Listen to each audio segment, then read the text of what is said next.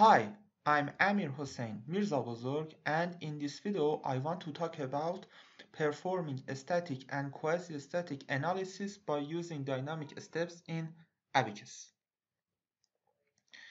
This is the table of content. I will talk about explanation of 3D nonlinear static problem. Then I will talk about explanation of tutorial content and finally I will talk about tutorial description. This is the preview of one of our premium tutorials named Performing Static and Quasi-Static Analysis by Using Dynamic Steps in Abaqus.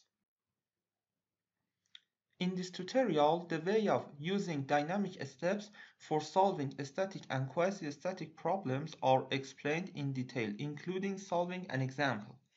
In problems that the simulation cannot be completed by using a static general step because of arising convergency issues, dynamic steps such as dynamic implicit and dynamic explicit can be used to avoid convergency issues.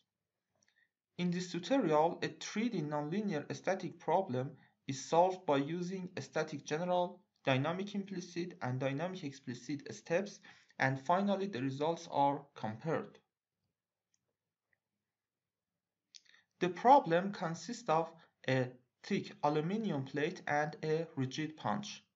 This is the thick aluminum plate and this is the rigid punch. The rigid punch will penetrate into the plate and causes plastic deformation. The procedure is slow enough to assume it quasi-static. Loading is applied by using a hydraulic jack.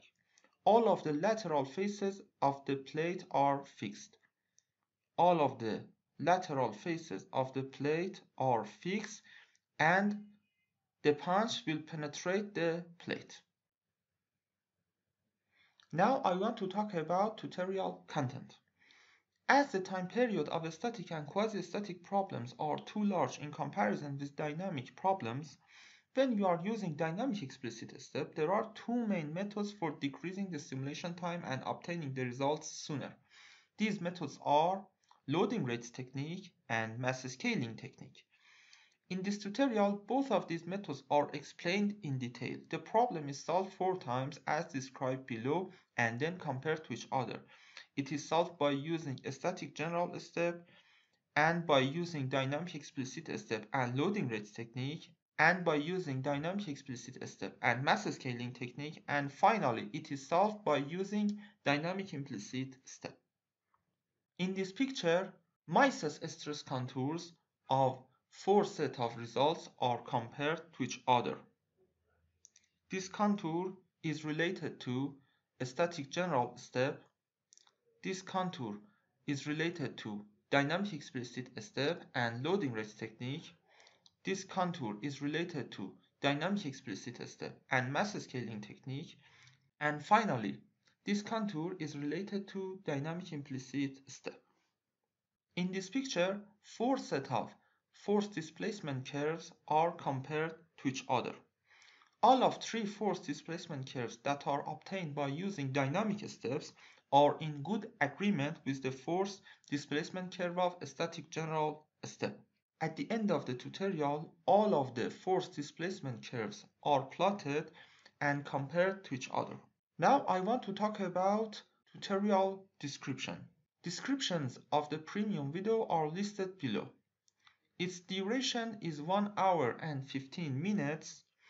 Its total size is 345 megabyte and the tutor is Amir Hossein Mirzabozorg. You can contact me by using Telegram or WhatsApp or send email to me. We can have one-on-one -on -one tutoring on AnyDesk, WhatsApp, and I can make special tutorials to your order. We can perform high-quality simulations for your thesis, exercises, and industrial projects. Now I want to suggest you several videos of our YouTube channel that are related to this video. Thank you so much for watching this video. Have a good time. Goodbye.